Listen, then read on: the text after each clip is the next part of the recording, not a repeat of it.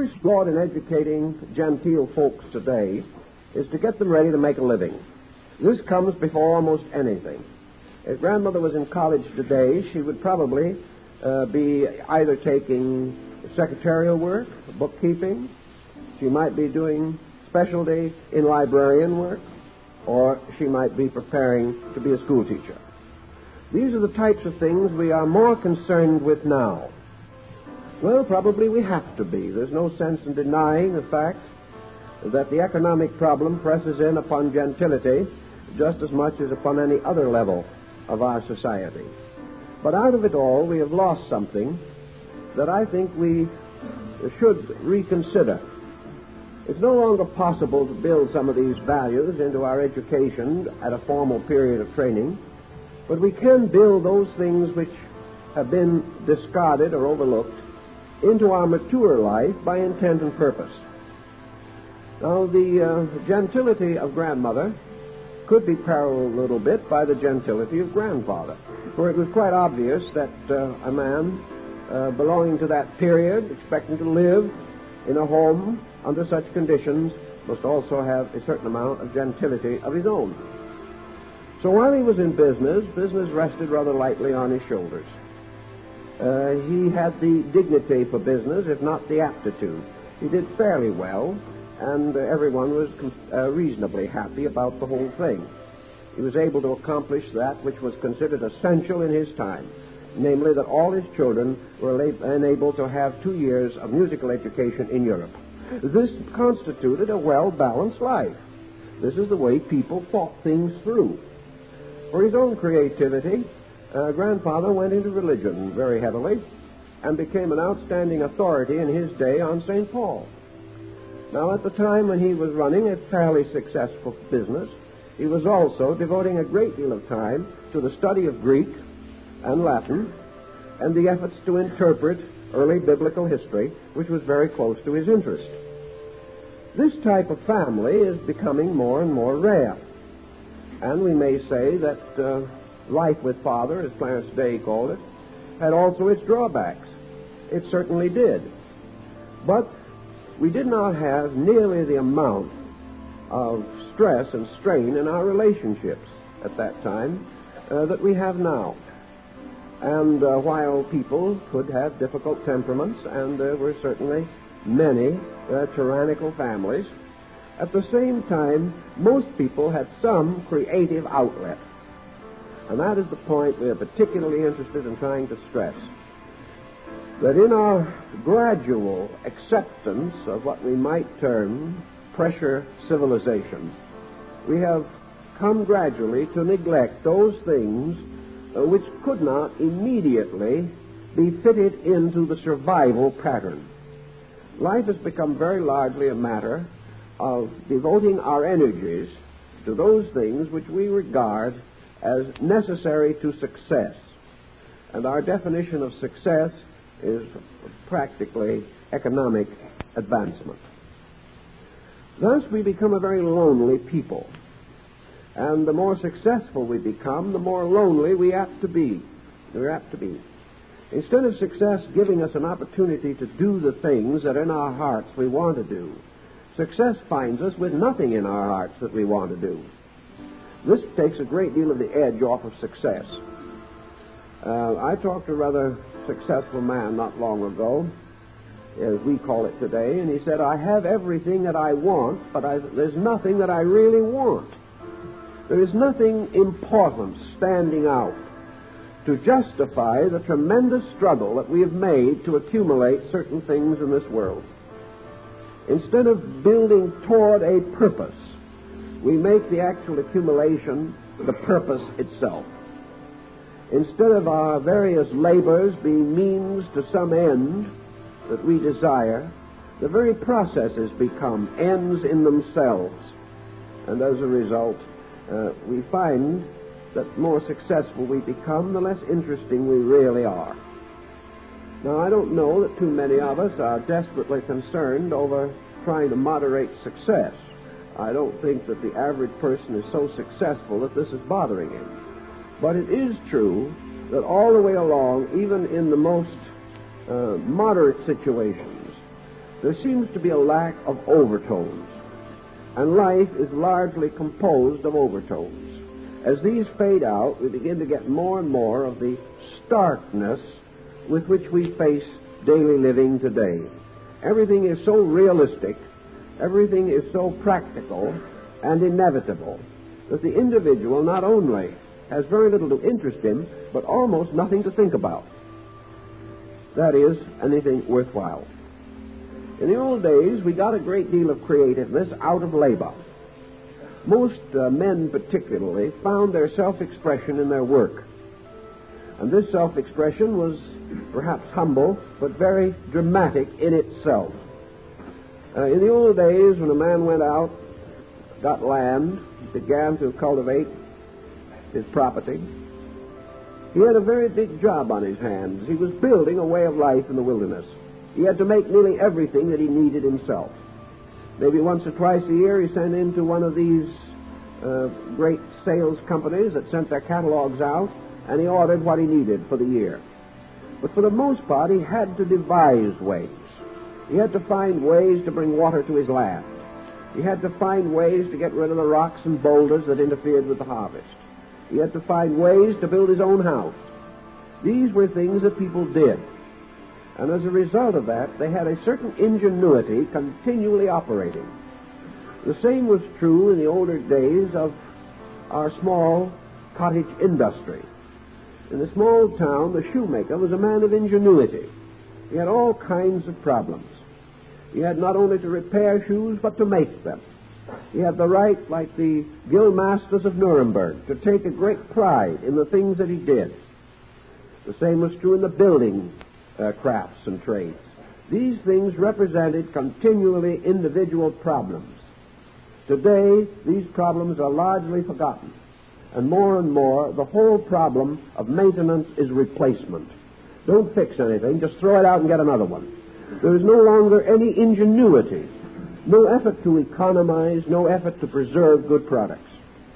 As a result, almost all of the arts and trades have lost their creative value to the individual. They no longer challenge him. They are no, he is no longer challenged by the time clock. He becomes part of some large industry. Someone else does all his thinking for him. Any individuality is apt to be penalized. Even in matters of religion, we find this continual pressure of conformities. It's not very interesting even anymore to be a really uh, a heterodox thinker. The individual simply finds little opportunity for the development of his own creativity even in religion. Reading has largely disappeared from our people, uh, except for a small group of really serious thinkers. For the rest, reading has become too difficult. It is too arduous, especially when you've never been taught how to spell. As a result of that, you turn to picture publications because anybody can spell a picture. Now, in the old days, the picture way of reading was set forth in beautiful form in McGuffey's Reader. And in McGuffey's Reader, you learned that when you were about six or seven years old, it was better to use pictures uh, for ideas than it was words. And gradually you learned the words that were associated with the picture. Today, for some reason, that which was fashionable for the kindergarten and the first two grades of grammar school now becomes the mature method of securing an education. In other words, we look at world events. We don't read about them we look at what is happening.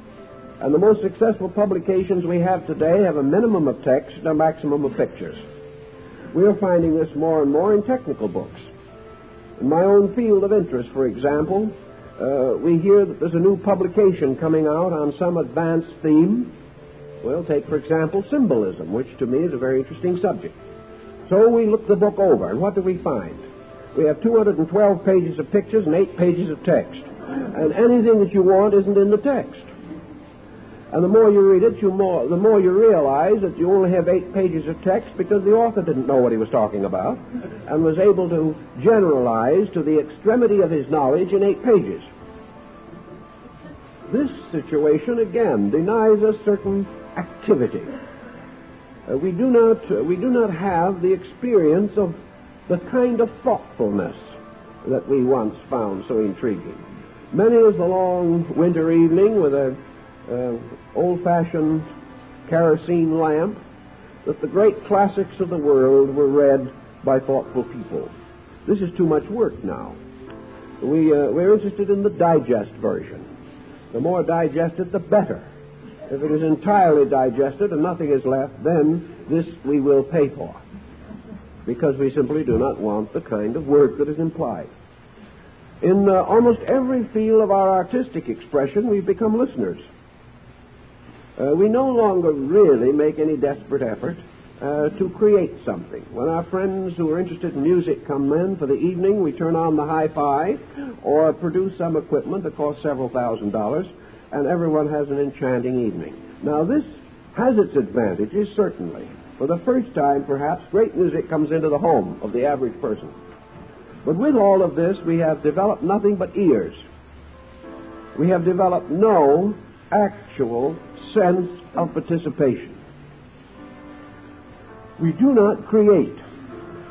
We simply absorb that which is created by others. This lack of the personal involvement in creativity takes everything out of fact and into theory. Uh, philosophy and religion both have emphasized from the beginning that the only way in which man can grow is by experience. Well, of course, listening is an experience. There's no question about that. But listening is a different kind of experience from participating. Listening is not the full experience or the full joy or the full satisfaction that comes to the individual who releases something from inside himself. The whole theory of philosophy is based upon release. It is based upon the individual moving from his own internal out into a world of personal self expression. This road that leads from the internal out is a broad highway. It is a road along which many basic ideas have to travel. It is the road in which, uh, along which consciousness moves into manifestation. It is the road in which inner growth is made possible. A road by which all theory is tested by application and that which is not able to sustain itself in application is allowed to rest for the moment and not dominate our way of life. All around us we observe a world of untested theories, a world in which even those theories that are tested are not thought through. The power to think things through to their reasonable ends uh, this power has been neglected. It's the turn of the century, in the last 50 years, scientifically trained persons who developed high exactitudes of method had also had the power to think things through. They would undoubtedly have been more cautious in launching upon the world forms of knowledge which could be so easily perverted and could so easily lead to the general destruction of human security.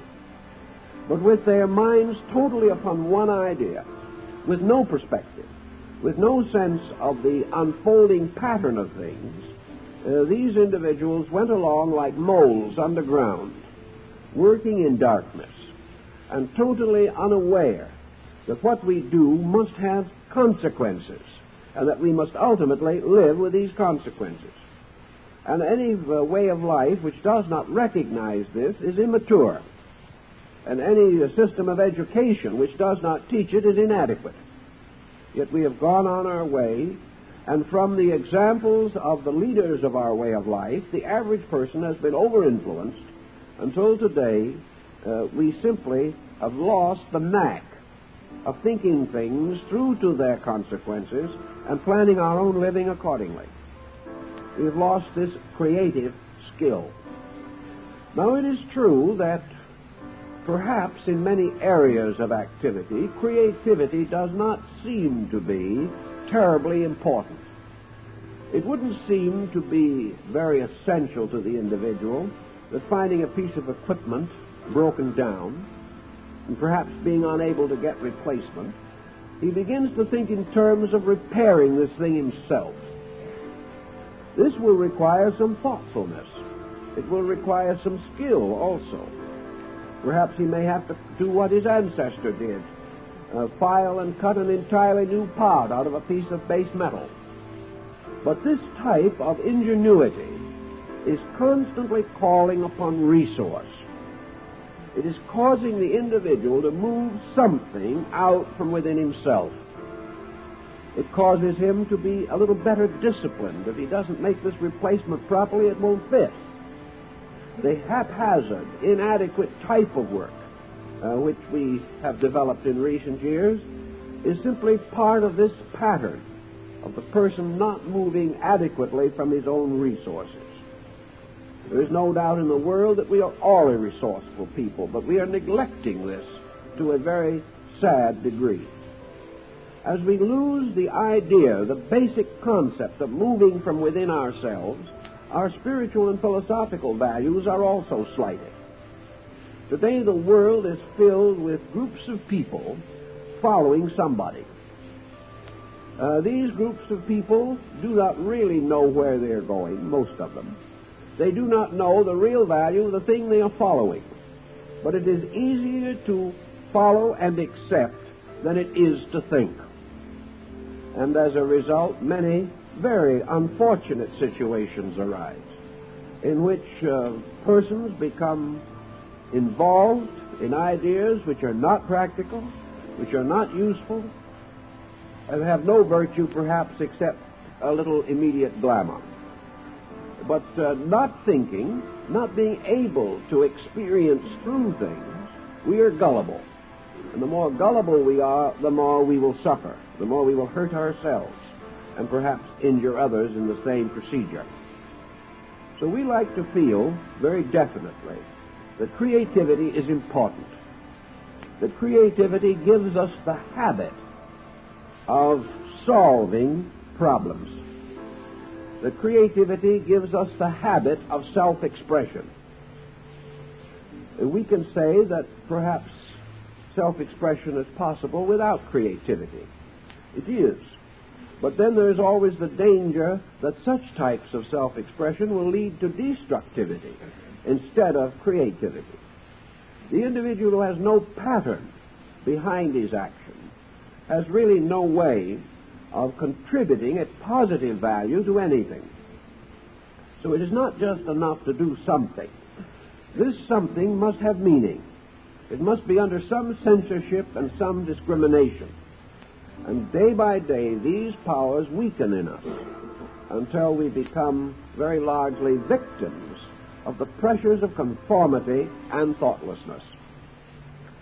So, in our field of interest, certainly, the reward goes to the person who is able to do something and do it well. To do something with a philosophy of life means to discriminate.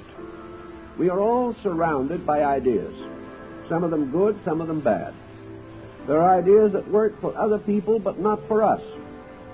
And somewhere along the line, we have to get over this idea that everyone is so much alike that patterns can be imposed upon individuals, and that almost anyone can successfully follow the same pattern. In the area of medicine, we know this is not true. We know that unless the individual uh, is understood, unless various tests are made, it is not safe to medicate him. Uh, he may not react as his neighbor does. And this idea of exchanging recipes over the back fence may or may not produce anything very constructive. But we know that the human being is an individual. And to the degree that we impose upon this individual complete conformity, we destroy in him self expression, and we gradually destroy in him the incentive to be a person. Most of our neurotics are people who have lost this incentive or never had it. And creativity is the greatest solution uh, to the negative attitudes of people. Creativity is the one answer to self boredom. It is a very powerful answer to self pity. It is a wonderful panacea for worry. and uh, worry and boredom and self pity are the common ailments of our time.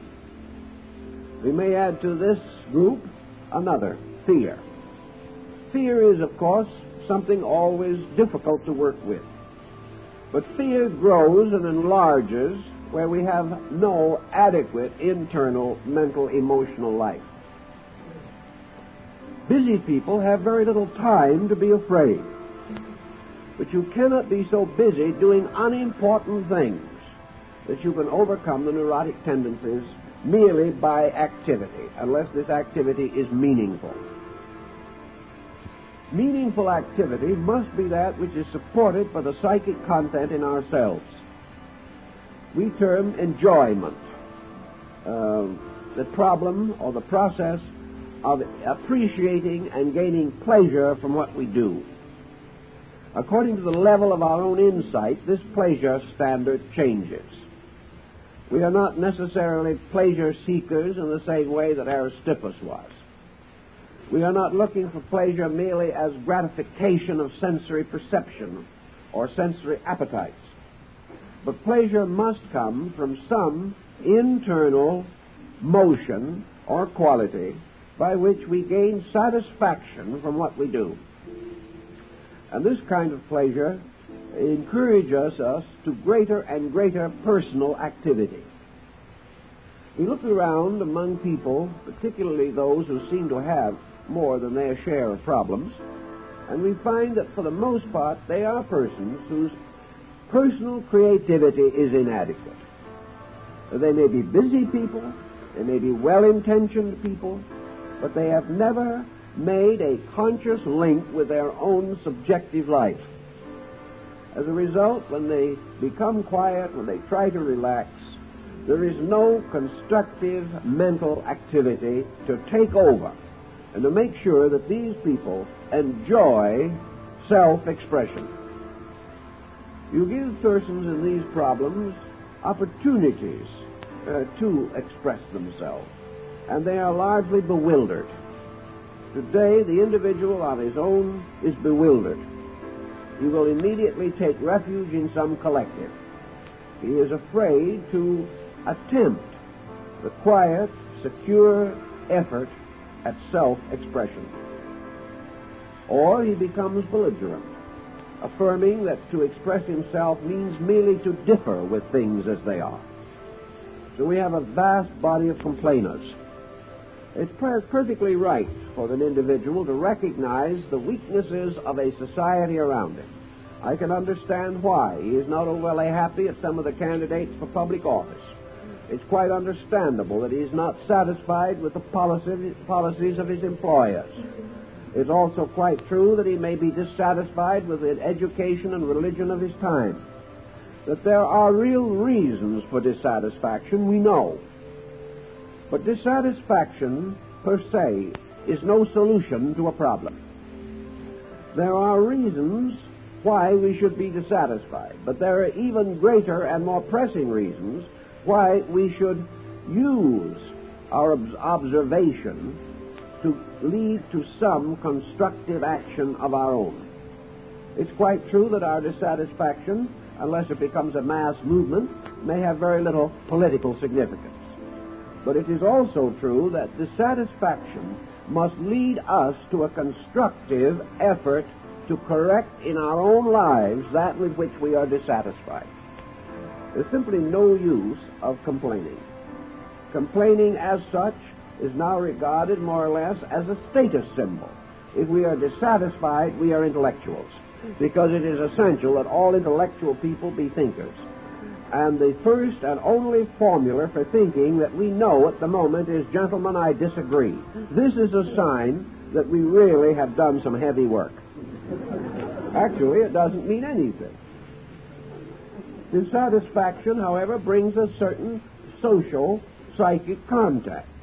We immediately move into a group with similar dissatisfactions and incorporate. Then we have an opportunity to spend a certain number of hours, daily or weekly or monthly, from that time on, dissatisfying with other people. We can go on and on and on with this procedure, but we haven't accomplished anything. The moment the individual observes that something is wrong. The question is, to what degree is he cooperating with this thing that is wrong? To what degree is he under the same hypnosis? To what degree is he using complaint as an evasion in, in the place of action?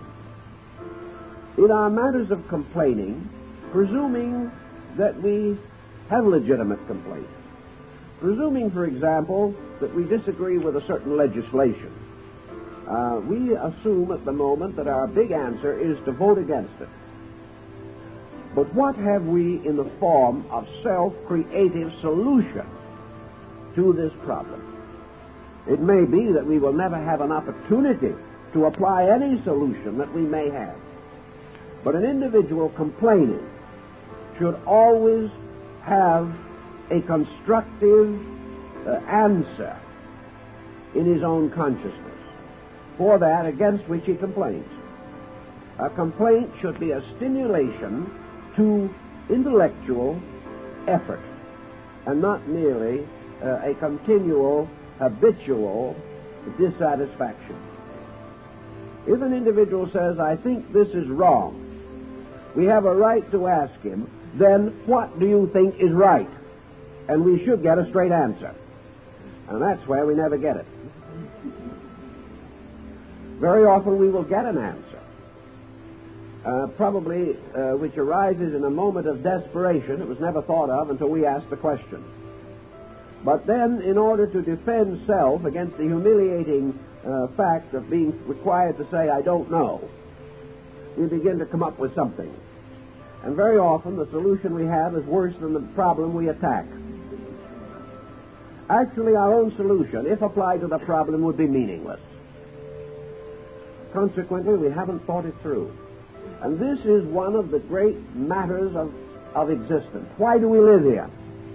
Why have we been taken out of some, uh, at least theologically defined, paradisical abode, uh, which we uh, uh were cast out of because of an unhappy addiction to apples? In this, um, in this situation, why are we here? Are we really here to be dissatisfied? Are we here to be complacent? Are we here to ignore the whole problem and make a few dollars? If there is any reason to be here, it would seem to me that we are here to learn something. We do not learn by accepting or rejecting. We do not uh, learn by ignoring. We do not learn by collapsing in a sense of total helplessness if there's something here that we need to know, the only way to find out is to use the powers that we have to reason through a situation and find the answer. Now, occasionally we do this, but not as often as we should. And we divide the problem of answer into two very broad areas cross sections by polling of the American people and reports based upon letters which are received by the White House and other centers of government would indicate that from the people have come and are still flowing many important ideas. It may not be entirely fair to say that all of these ideas are ignored. It is also perhaps not quite fair to say that all of these ideas, coming from persons unacquainted usually with the specifics of the problem, can be immediately applied. But there has been an observable fact, namely that thousands of people have had good ideas about how things could be improved. They are, however, a very small minority of the population. But this fact does stand out that where the person is perhaps only indirectly involved, where the consequences of a policy will not be felt on his own skin, the person does have better ideas. He is less personal. He has no immediate benefit to himself to consider. He is not going to be instantly involved in an argument over his idea. So he writes it in or telegraphs it in, and because it comes from a certain impersonality within himself, it is often very constructive. But when he has an idea about himself, about his own family, about the environment in which he lives, about the management of personal affairs, it is much harder for him to have a constructive idea. This is because he must fight through this tremendous complex of his own personal opinions and attitudes. Against his ideas will be arraigned all of his prejudices, all of his opinions and conceits, his traditional pressures, and a large amount of mental and emotional fatigue.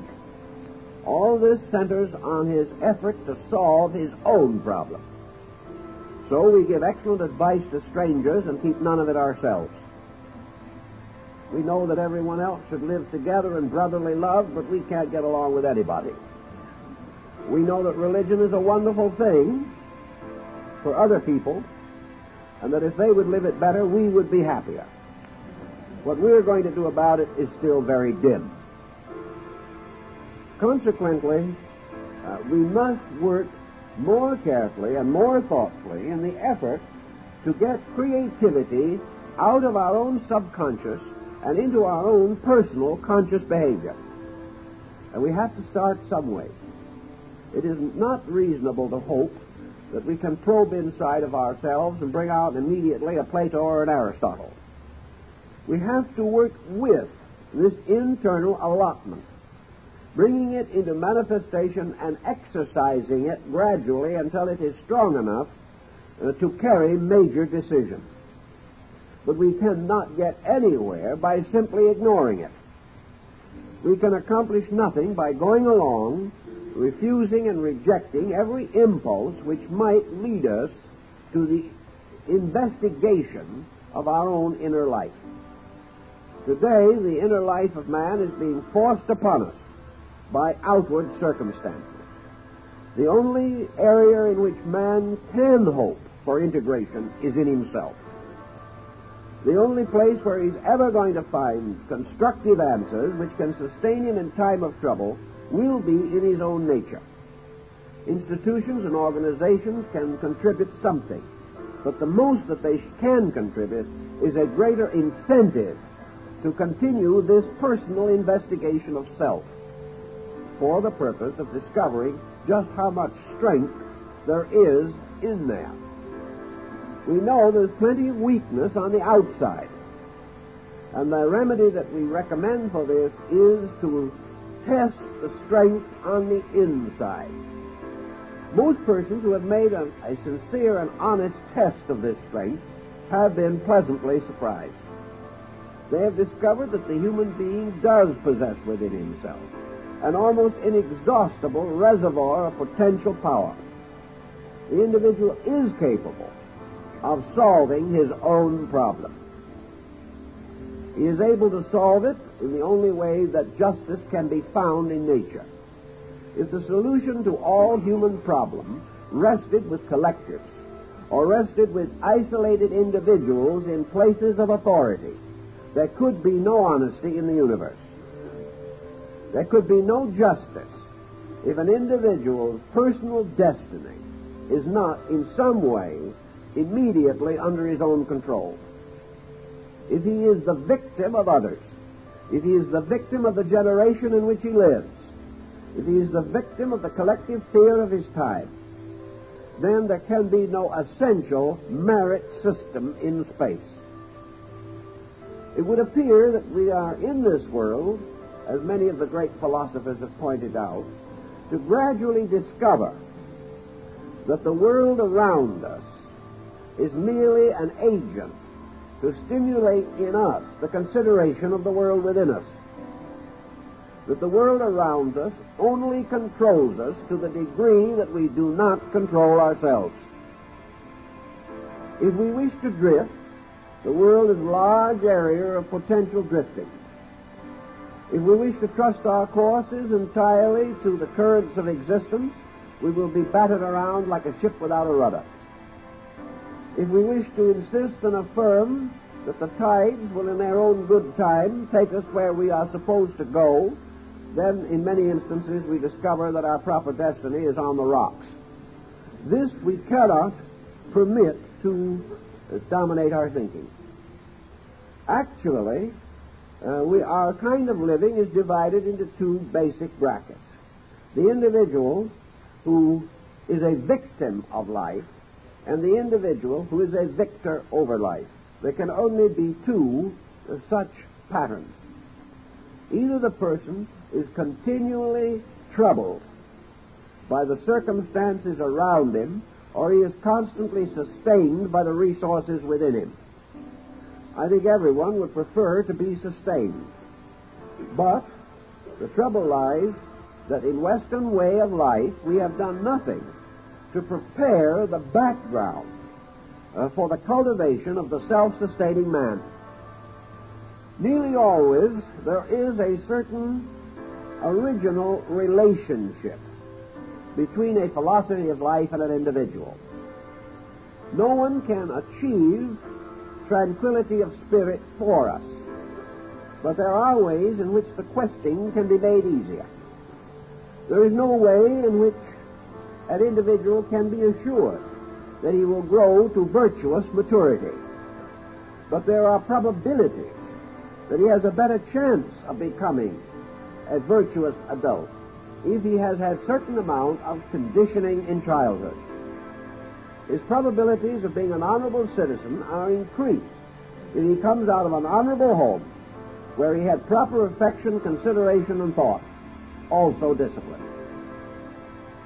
If, therefore, the individual of today, the mature person, is seeking for a certain background, for orientation, he is not so different from the person who is able to look back upon a childhood in which certain principles were clearly fixed. Today, man looks back upon the childhood of Western civilization, and he does not find its principles clear or well fixed. He looks to the world around him to determine what people believe is right, and he finds very little that is clearly directive. He looks for resources within himself which have been trained by his opportunities and which would naturally be available, and he finds these resources inadequate. He has not the cooperation of his culture in anything that he needs to accomplish. Instead of being able to move within a pattern of acceptances, he is apparently required to move totally alone. Now, nature undoubtedly has set this pattern for a reason. Actually, the person who must move of himself and cannot depend upon co- cooperative circumstances stands in the position of making the greatest personal achievement. To the degree that he is forced to make a greater effort, to the same degree he achieves a greater end. But uh, this is not always easy or optimistic. So, not having very much cultural uh, stimulation uh, the Western man is in a bit of a dilemma. 300 years, 400 years ago in China, if you wanted to be a gentleman, you became a poet. If you wanted to be considered a great citizen, you became a philosopher. And if you wish to be the highest type of desirable person, you became a mystic. These were the great honored levels. Today, in our Western way of life, if you want to be acceptable on the best intellectual levels, you must believe in nothing. Now, of course, this should apparently lead to vast acceptability, but it doesn't even do that. Even on the proper basis of our way of life, we are not accepted for our unbelief any more than we would be for our believing. The reason why is there's no standard. There is nothing that is regarded as admirable. The only standard is a standard of success on a material level. And this standard is too brittle, too immature, to have any very constructive suggestions to make relating to the personal culture of the individual. Therefore, we do not have uh, the cultural pattern which might cause our young people to say, that I would like to be a really fine person, and that means that I have to be a thoughtful, constructive, idealistic citizen. This is not the incentive pattern under which we live. Lacking this incentive pattern, therefore, we are not only left without the incentive, but we are also left without the pattern. We are left with the average person unable to, to determine for himself what he should do. He cannot find enough evidence in contemporary situations as to how he can live a constructive, successful life. We still do have available to us the great religious systems of the past and the great idealistic philosophical systems. But the average person today is not equipped to make the transposition of time that is necessary. We are unable to take a, a religion like Christianity and simply apply it wholeheartedly to the 20th century. We are unable to break through medieval tradition and we try to impose it upon the modern world. In attempting to correct this, we ultimately become so confused that we are unable to use the religious factor consist, uh, constructively. Little by little, we see that uh, several hundred years of declining ideality, several hundred years of drifting away from ethical and cultural foundations has, uh, have resulted in a sort of derelict state. We have no clear insight as to how to start a constructive pattern of self-expression. We can't, we can't borrow from available uh, resources, nor can we simply go to school somewhere and learn it. It's a problem where each person has to think it through for himself. This is again more difficult than in ancient times. Because remember, 2,000 years ago, 5% of the population uh, alone was capable of involvement in the mature problems of life as we know them today. For the rest, life had to remain an exceedingly simple problem. Some of this simplicity was extremely good. Some of it, however, was, was inadequate. But with a small group of people, also mostly trained in homo- homogeneous cultures, philosophy and religion had a far greater opportunity of exercising influence than they have today. Today, the average person is too well educated, has too much uh, contact with diversified cultural factors to be able to quickly differentiate that which he immediately needs. This becomes a further matter of confusion. Also, uh, the problems which we face are more complicated than those which were faced a thousand or two thousand years ago. Our own value senses changed in this period of time, and we require a different kind of solution from our ancestors. But we have not clarified what kind of solution we mean. So, assuming that we have reached the age in which solution becomes necessary, and we cannot immediately turn to any available source for this solution, we have to begin to work through various plans and devices of our own in an effort to discover that which will most rapidly advance our own maturity will most uh, rapidly assist us to overcome the negative factors of our own temperaments and bring our own personality onto an even keel. Unless we do this, we must go for help uh, to various psychological groups, some of which, unfortunately, can do very little in long range planning for the individual. They may be able to get him over an immediate crisis, but he will fall into another almost immediately because he has no remedy against crisis in himself. And it is this basic remedy that we most deeply require. Now, in this emergency, we are beginning to look everywhere. We're looking in many places where 50 years ago we would not have turned a glance. And we are reminded also uh, that both Spengler and Toynbee, two of our great historical philosophers, have come to the conclusion that we are moving into a curious philosophic era, an era in which necessity is bringing or forcing a philosophy upon us. And while neither of these men wished to come right out and say what this philosophy would be because for both of them the historical factor was difficult. We can't pick a philosophy of long ago and simply drop it on ourselves here. We have to take philosophic principles and reapply them but preserve the values. And both of these men were of the opinion that ultimately Western man would drift more and more into a strongly Asiatic philosophical point of view. The only uh, reason for this probably is that Asia has remained as the only area in which philosophic principles have continued to be alive, and where the religious principles which most involve man are not archaic. Our religion must be approached historically. In many of the Asiatic countries, what has what occurred 2,000 years ago in the West is occurring today. Therefore, there is a contemporary possibility of analysis and consideration. Now, it is not by any means obvious uh, that the Eastern nations have solved their problems or have completely uh, brought their own worlds into pattern. But we are dealing now not with collective, not with the imposing of one political theory upon another. We are not dealing with the price of rice or the scarcity of water.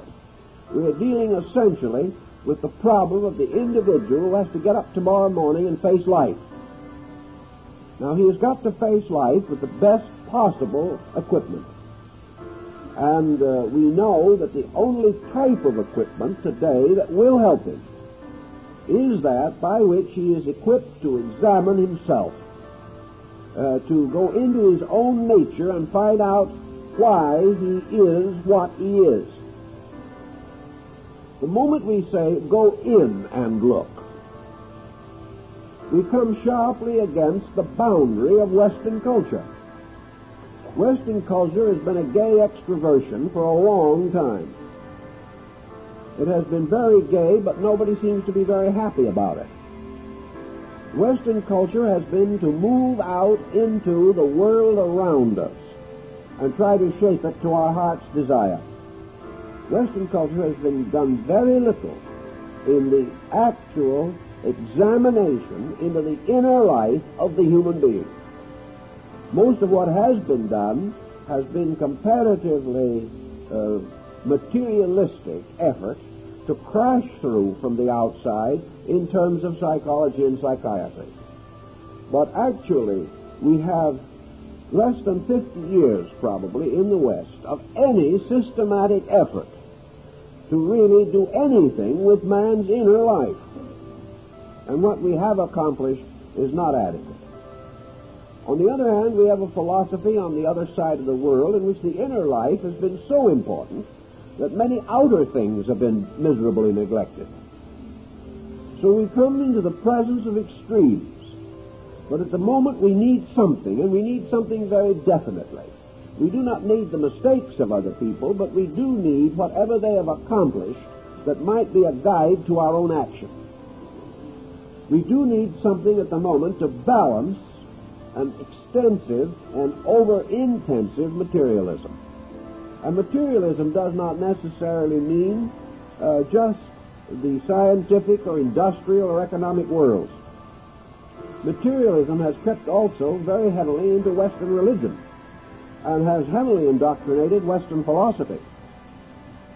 Consequently, we are in trouble. And in our search for some answer, we have to look to the only place where we think uh, we can find some rudiments to build up with. We do not intend necessarily to follow the way of another people, because actually we are a Western culture. But what we need is some way in which we can get hold of what might be termed our natural culture pattern. Bring it out and use it. And the only way we know is by uh, calling upon people who have brought internals out and done something about it. And uh, that does bring us more or less toward the Asiatic point of view. Because here at least we have somebody who tried. And for a long time we have not been adequately trying. The uh, adaptation cannot be entire or, complete, and I don't think there's any need to consider uh, the entire transference as religious. I don't think we should regard the development of man as a theological problem. That's been one of our mistakes. We have thought that the individual who was good uh, had certain religious benefits from being good. I think that more important than that, that the individual who is good, in the sense of proper virtuous understanding, is simply right. And because he is right, he is cooperating with the universe, with life, with nature, and his fellow man. But these things are not great religious virtues. They are nothing more or less than human decency. But we haven't gotten around to such a factual look at it. So it isn't necessary for us to think that we are going to follow some foreign creed. What we are looking for is the instrumentation of personal culture. We are looking for the implementing of our own conviction of need so that we're able to do something about it. Self-expression certainly is indicated. And self-expression has helped many people all over the world. And self-expression can move into the life of the individual without causing any panic, without causing him to lose face with his neighbor, or without requiring some stupendous expenditure which he cannot afford. Self-expression is perfectly possible to the individual in any bracket of income. It is a problem of moving the internal part of life and getting it mo- moving out into action so that the person is moved by the principles within himself. And a lot of people who uh, try this, however, get into another dilemma. They are unable to estimate what is moving or why they are being pressured in a certain way.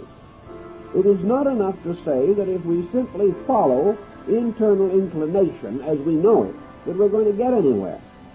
Because too many people today have a powerful internal inclination to be unpleasant. Also, most people have a very overwhelming inclination to be selfish. This, therefore, is not the answer, that we merely do what we feel like doing. We'll never get anywhere that way. We have to go behind this. So we do learn immediately from Eastern philosophies that there are two sources of inner pressure. The most common and available source is just plain selfishness.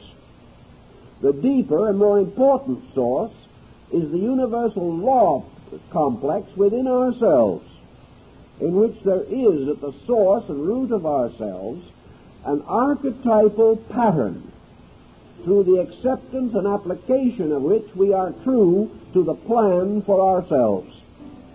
So we have to try to figure out how to get at the real one. How to substitute universal purpose for self-purpose. How we can achieve obedience to the universe rather than obedience to our own selfishness. To accomplish this, there has to be a certain amount of effort. But if there is no effort, naturally, all reward is less. That which is most difficult or most rare is most highly valued. And what we are searching for is the most valuable thing in the world, peace of spirit. Therefore, we cannot buy it cheaply, and it will not be discounted after the first of the year. We have to work with it the thoughtful person can work with it by using a simple code of personal attitude. We can use the mind as it was intended to be used, namely as a censor of conduct. The purpose of the mind is not to take part in the conspiracy of selfishness. The purpose of the mind is to reveal to us the constructive results of constructive action and the destructive results of destructive action. The mind makes available to us the facts about the consequences of what we do. If then we are really inclined to be in search of self creativity, we must begin to use the mind to reveal to us what is wrong with ourselves. Up to now, we've always used it to find out what was right about ourselves and what was wrong about everyone else. Also, in emergencies, we use the mind as an escape mechanism. We try to talk ourselves in and out of things. We use the mind to develop uh, explanations that explain nothing. We also use it in the mind for uh, various self justifications, for things that cannot factually be justified. So the mind is available to us as a simple instrument by which we can think through our own conduct. We can very quietly decide whether what we are doing is right or wrong. This comes first because we have to clear the way. The road that leads in to the sanctuary in our own hearts has been so neglected that it is practically impassable. Uh, you can't bring people in this road. You can't travel it yourself because it has been so long neglected that it is worse than any provincial road in some aboriginal community. In fact, it's one of those problems like you find in Africa sometimes where it is much easier to travel if you stay off the road. This is the problem we have. The road is in very bad shape. To get this road back into condition, we have to begin to repair it. And one of the ways that we must use to repair it is to make sure uh, that we know when and how to demand and require and to what degree uh, we are able uh, to get rid of the false situations which are blind alleys on roads that lead nowhere. Many people have sincerely, earnestly, and honorably followed a road that led nowhere, simply because they had no discrimination. They did not use the mind to help them. We have allowed the mind to hinder us for thousands of years, but it is here because it could help us. And one of the ways in which it can help us is to censor our attitude and conduct. So we begin with the only way that we know how to begin. We all have moral sense. We all have certain inner convictions. We have all, to some degree, a traditional religious background. We know about the Sermon on the Mount and we know of the revelation of the Ten Commandments. We know the essential codes of right that have been exercised and promulgated by man from the beginning of known time we also recognize as a fact that those who have kept these rules have become the most gracious, constructive, and valuable of citizens. Consequently, we're not completely without some help. The problem is to bridge between this help and our own nature. So we start out in the morning uh, quite convinced that we are self motivating creatures but in the majority of cases, the motivation arises in the liver or in the suprarenal cortex. There doesn't seem to be very much true motivation. So today we are hardly able to crawl along under this motivation. We are tired before we start and exhausted before we finish. But we do start out, and we almost immediately begin to sense that our conduct is inconsistent with value. It is not getting us there. We know that when we become a little impatient early in the morning, it isn't good, but we can't help it. As we go a little further through the day, the impatience increases. Uh, somebody does something or says something that isn't pleasant, we're either angry or offended. If we are angry, we say something unpleasant ourselves and consider that that is a solution. We are trying to fight one poison with another. Or if we're hurt, we mood and brood over it, and finally collapse in a state of self pity. we do this. Then we go out and we uh, start to do some things we regard as important. Our mind isn't really on the things we're doing. We take ten steps where one would be sufficient. We haven't organized. We meet each new issue of the day with a large measure of aggressiveness or belligerence. Nothing is moving smoothly. Nothing is done simply in a natural way because it is something to be done. Everything is heavy with overtones and undertones of a negative nature. We won't go along more than an hour in the morning before the mind will report this to us. That begins to present a problem. The only answer seems to be to turn to the mind as we would to a small child and say, shish. We don't want to hear the news. So we turn on the television and get worse news. We do not want to hear the mind tell us that we're stupid. After it has told us a few million times, we think it's a naga. And finally, the mind, in general despair, gives up. It also becomes educated badly by our own attitudes and becomes so toxic with our own self pity and selfishness that it can no longer function. But most thoughtful people still have some function there. So when these reports come in, what is the other thing to do? The other thing to do is to say that here is where education begins. Education is not a matter of schooling, it's a matter of listening. It's a matter of listening to the need of self. So after we have had one of these tempests in the teapot, which makes up the life of most people, we can pause and say, just what is all this about? Uh, why is this so necessary? Why is it that when we feel like doing a certain thing or thinking a certain thought, there is absolutely nothing we can do about it except do what we feel like doing? What would we do if we tried to bring up children the way we bring up our own thoughts and feelings? We would have a group of delinquents.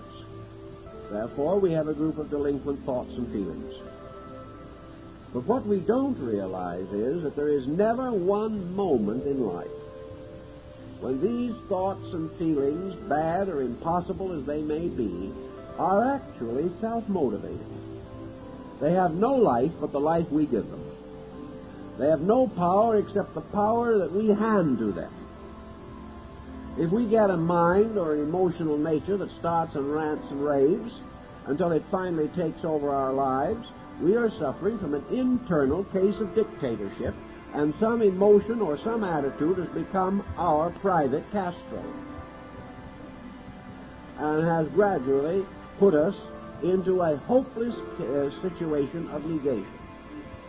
Every time we get mad and tear something or throw something, we are just suffering from a problem of an internal Mr. Khrushchev.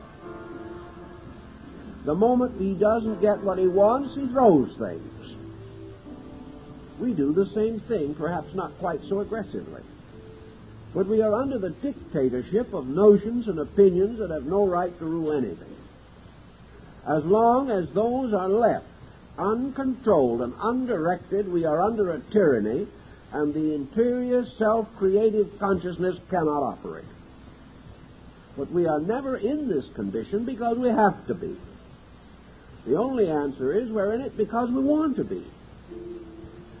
We're in it because there's a certain emotional satisfaction in doing what we feel like doing, even though it may ultimately lead us to the electric chair or the gallows. If we have this feeling, we have to do it. Now, here's where our Oriental philosophy comes into this a little bit. Our Oriental philosophy says that any moment, in the middle of any tantrum, any temper fit, or at that time when we are most sorry for ourselves, or when we are most suspicious and critical of other people, we can stop it instantly if we want to. The question is, do we want to? We can stop it in several ways. We can't stop it by fighting it. We can't stop it by using a tremendous exertion of the will any more than we can actually control any person by force.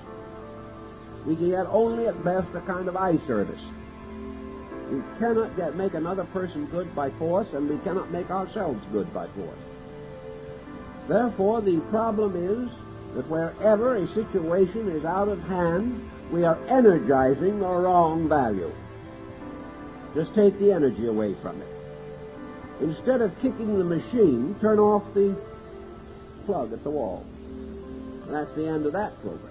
I've heard people sit in front of television and complain for hours, shouting, groaning, and howling because the program was terrible. But not one of them thought to get up and turn it off. because when you're in a problem and to suffer, there's a certain satisfaction in suffering vastly and continuously. When we feel that we have a cause of complaint, the more complaining we can do, the better we feel about it. And we have wasted the life that we should be using to grow with. So wherever in our own inner life problems arise, there is no need or no real solution in trying to kick them around. The answer lies in turning off the energy because all of these things exist only because our own vitality sustains them. The moment we refuse to sustain them, they evaporate.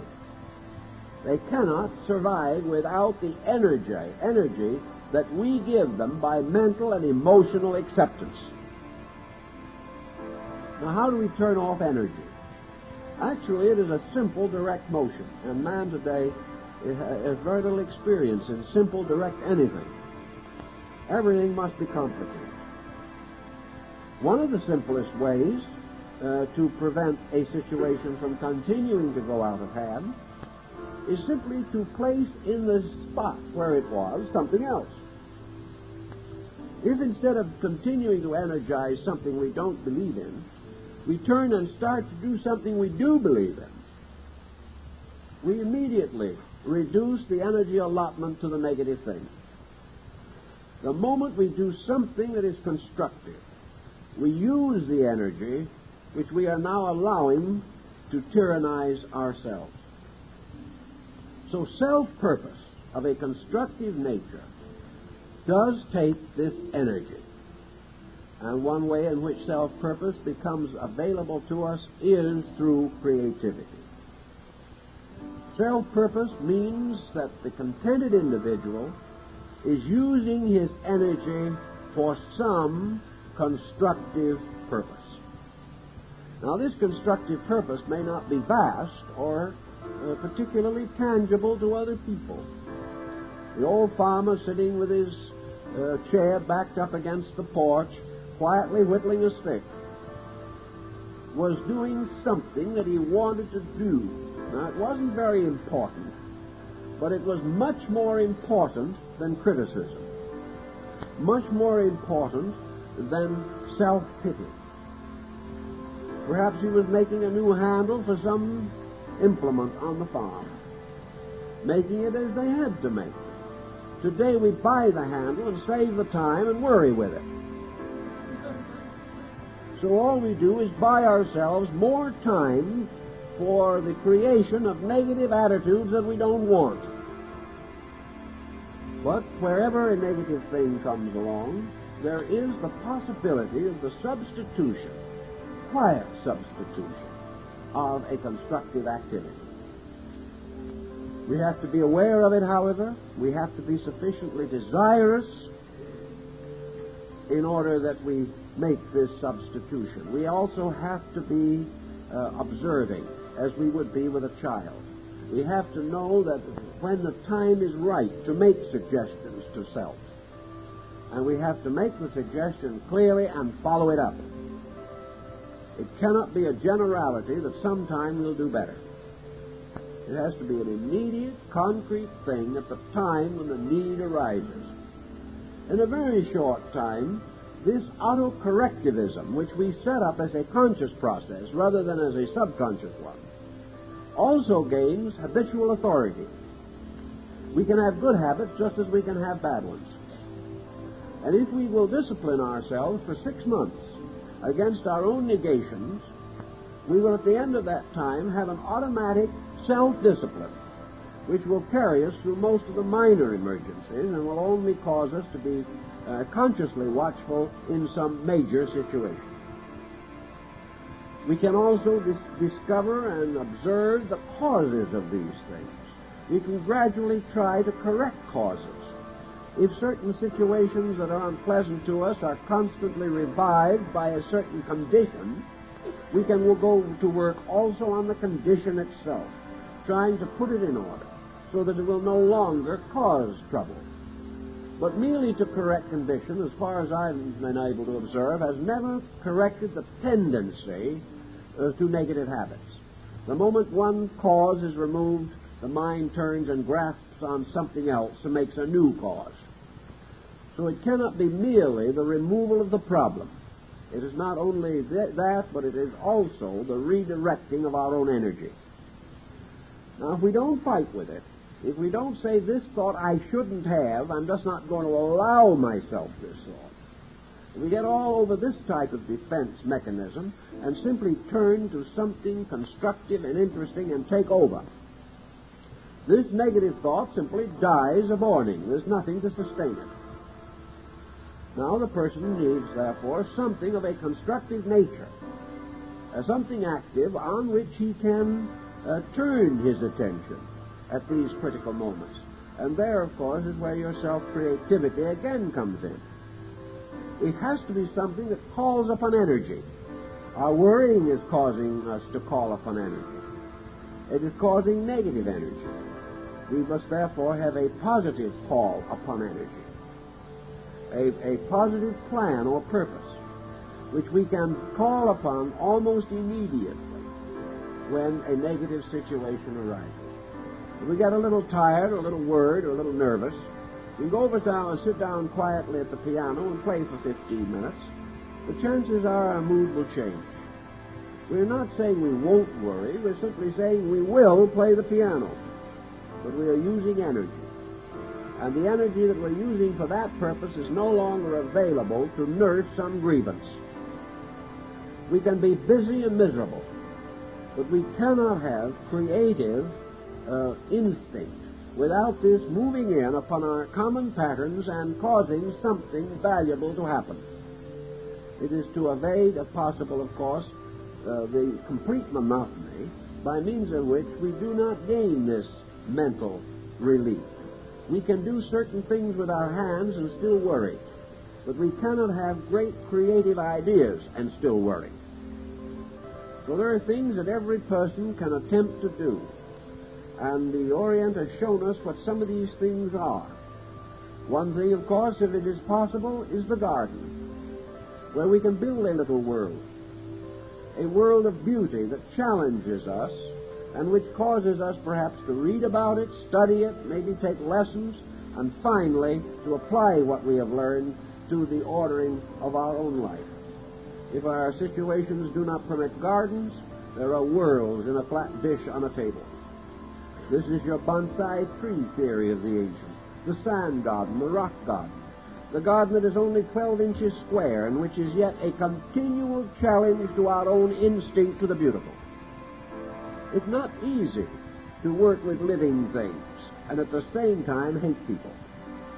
It is not easy to have beauty a power in your life and then think unbeautifully. You can do it by theory, but if your hands are working with beauty, if you are continually trying to do things creatively, if you're trying to take a pattern and make it better, it calls upon energy. And this energy gives you a forward looking emotional experience. There, there must be in every person's life some creative self expression. If there is nothing that we can do, then it is certainly indicated that even at the expense of some time, we should study something. Not that leads only to intellectual satisfaction, but leads to action. There must be something that gets the hands occupied in creating a thing which calls upon our own inner resource.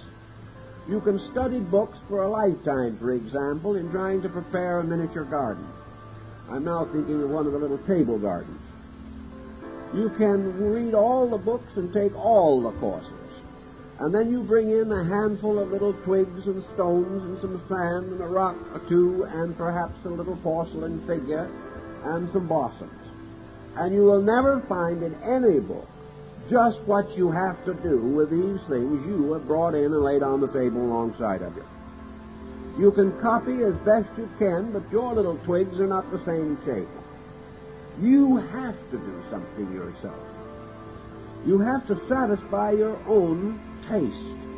You put these things together, you think they're marvelous, you take a, a little separate look about five feet, and you say, How could I have ever done anything as badly as that? And you rush back and try and do it again. You may wear out two or three bones and half the rocks before you get anything that you can honestly say satisfies your own soul. But when you do, something has happened. You have had a small mystical experience. The beauty in you, the truth in you, has had a chance to come out and do something. And in the process of this alchemy, all of the particular problems of the moment have disappeared for a little while at least. And if we took all the time we negatively waste in worry, fear, doubt, self um, pity, and things of that nature, and put this time into a lump somewhere, it would provide us with the opportunity, time wise, of becoming masters of almost anything. But you are now trying to make something happen. You are trying to create. You may be trying to create a beautiful poem. You may be trying to create a marvelous picture. You may be trying to create a design on a loom. You are trying to create a new pattern. Wherever you are creating, you are releasing. And the thing you have created becomes the judge of your own release. You look at it, and it isn't what you thought it was going to be. It is not nearly as beautiful as your idea. So you keep on working with it. You keep on releasing beauty until finally you produce something which may not be perfect, but you will say, This I can endure. This indicates I've accomplished something. So life becomes a release of creativity. You will find, of course, that once the door is open, along this gateway or roadway of creativity comes a, quite a troop of, this, of different values. This open door to creativity also becomes more and more a way to the inner life of yourself. You have opened the road. You have repaired it. Perhaps the thing that comes across at first is merely a sense of order, or proportion, or value, or color. But gradually, through this road that you have built, the whole inner life will move into manifestation. Because you have made the expression of your own consciousness important to you. And it is this expression of self consciousness that must be understood. Now you can see that the production of something protects us against the wrong level of consciousness coming through. You cannot create a beautiful picture or a beautiful plant by calling upon your own negative opinionism. You cannot say, in looking at some charming thing that you have produced, you cannot say, my selfishness did this. You cannot say that this beautiful flower arrangement exists because you don't like someone, or that you're critical of people, or that you are uh, sorry for yourself. This, uh, this arrangement came as a result of something much deeper than that. And if it did by any chance become over influenced by some negative phase of your personality, the design will be wrong. And your own eyes will tell you that it is wrong. And your own nature will reject it because it is wrong. And you will quietly create your own censorship. And you will learn the same in many fields of creative expression. And once this creativity is moved away from selfishness into the pure expression of its own nature, you will find it available in religion. You will find it available in moral thinking. You will find it assisting you in your physical responsibilities, helping you to recognize the problems of the time and how to face them. But you have to get the road open. And the only way we know of releasing the internal is releasing it into action. We cannot release it merely into thought. Because the fact that it moves into action causes it to do things. The moment it does something, we know whether it is true or not. If it never comes into action, what we thought was a beautiful idea might only be a concealed form of our own selfishness. But when it moves into action, it either produces good action or not good action. Instantly we know whether the force itself is good or not good. This is why it has to move into activity. And throughout all of our ways of life, self-creative activity has been important. It is still important in the cottage industries of India. It is still important in folk art, upon which all fine art developed. It is important in the dance and the rhythm of primitive people. They are expressing. And here we sit back in a rather sophisticated way and let machines do all our thinking for us. And because they're not very good at it, we live on the level of a mechanistic inspiration, which is not sufficient. But we can fight through these things and create laws unto ourselves, whereby we can daily observe the degree of our own creative expression. And because we try everything, we weigh all things and cling to that which is good. And for man, the weighing is the using. And by using, we discover whether we were right or not we give some advice to somebody. He follows it and he's worse off than he was before. But we've moved away from the picture and we don't feel any responsibility. We justify ourselves on the grounds that he probably didn't follow the advice correctly or he should have worked, and we don't even stop giving the same advice to someone else. But if we give this advice to ourselves and it hurts, we're going to stop. We're going to find some other answer. So on our own skin, we have to test all things. And that which produces for us a newer, better, richer way of life, richer in real value, that is the way that we will ultimately cultivate.